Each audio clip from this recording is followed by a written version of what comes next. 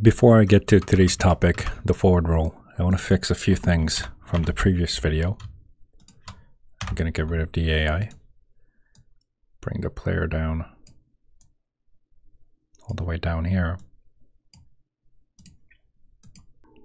And if I do a running jump, you'll see that the box collider doesn't quite match the animation. Just got to change a few numbers for the update box collider ability.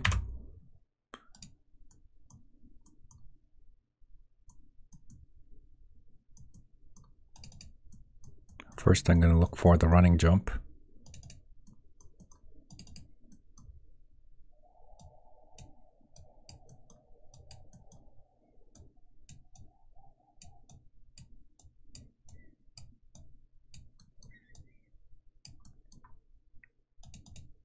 Okay, so here's the running jump.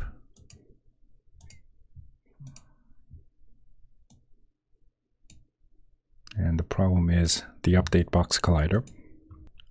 I'm going to make this the same as the running jump fall.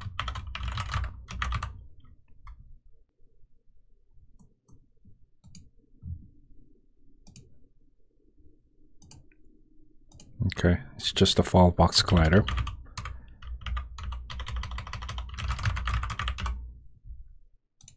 But I'm going to make it the same. So 0.83 here, 1.3.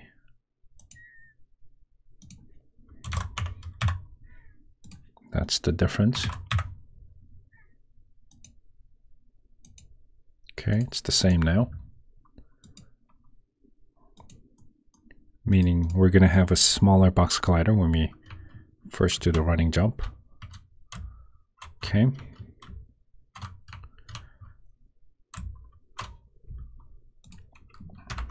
Think I should also increase the jump force for the running jump maybe 350.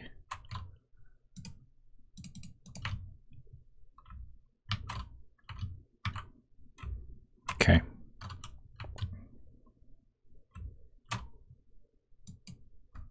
And now for the forward roll. I want the player to hold the diving posture until he hits the ground. Because right now,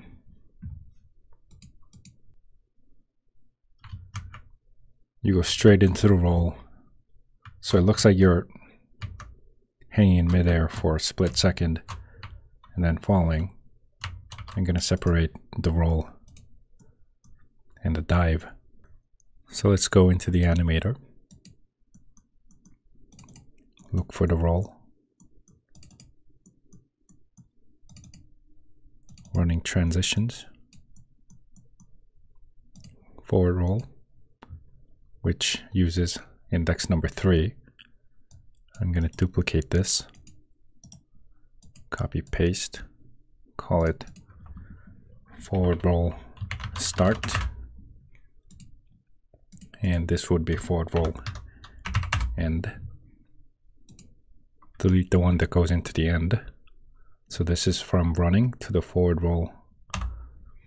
Delete that. So when you transition from running to forward roll start, here it is. And it's going to use the index number three.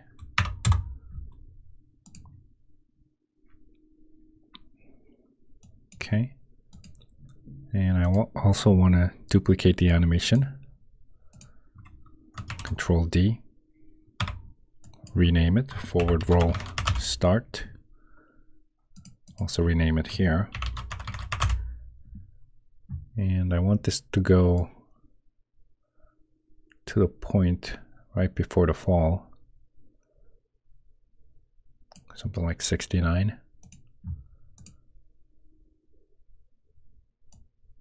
Okay, if I play,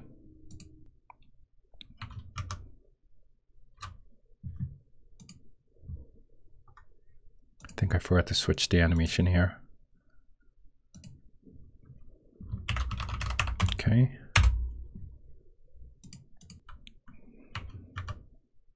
So that's the forward roll start.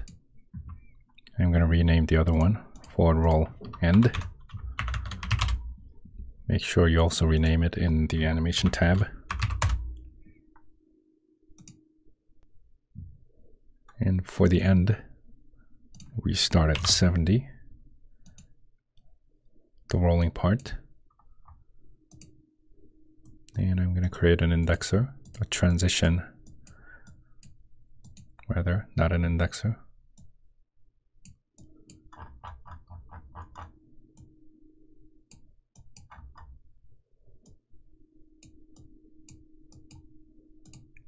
Okay, and the condition is that grounded is true.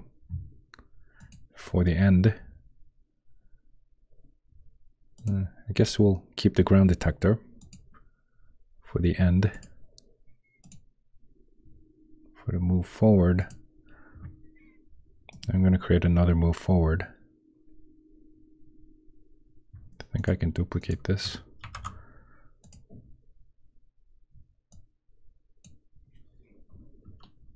So this is the move forward for the end. We also have one for the start. I'm to adjust the graph for the end.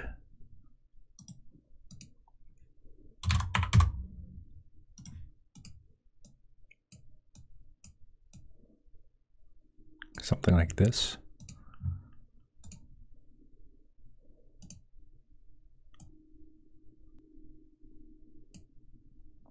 Okay. The end doesn't need the jump, so I'm just going to get rid of it. And for the start, let me edit the move forward just slightly.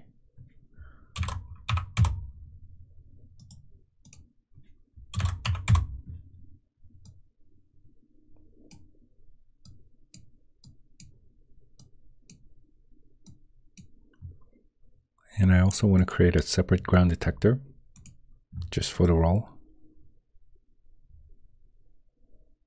Ground detector, player forward roll ground detector.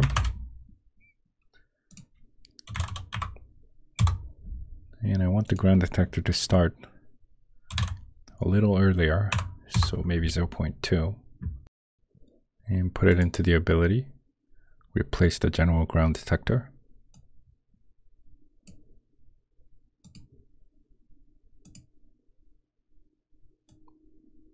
Okay, I'm gonna try clicking play. Okay. Looks like it's working fine from the top, but the flat part looks kind of weird. I think I need more jump force. 130 and play again. So the dive works pretty well. Okay, I might, I might even need a little more force. Okay.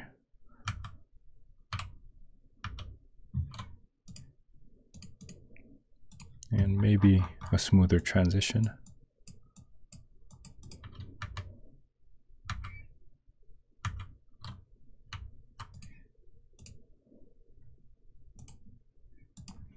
Slight more jump. Okay. Looks all right.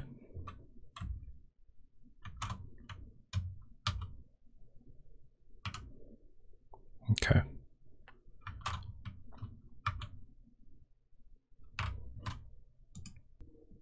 And I'll add the random AIs again.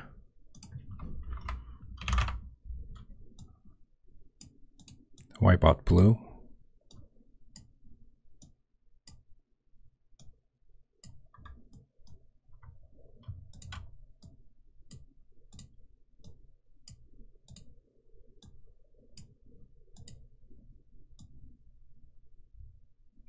I'll put this one on top.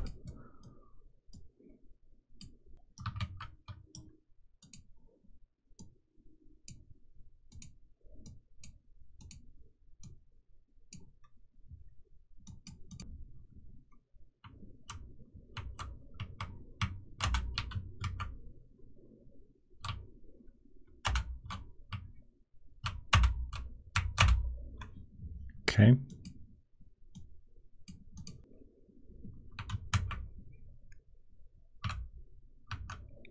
I might do a camera zoom in when you're doing the slide or the roll for certain running transitions. I think a zoom in might look nice. But I'll do that more in the later videos. So that's it for this video. Thanks for watching.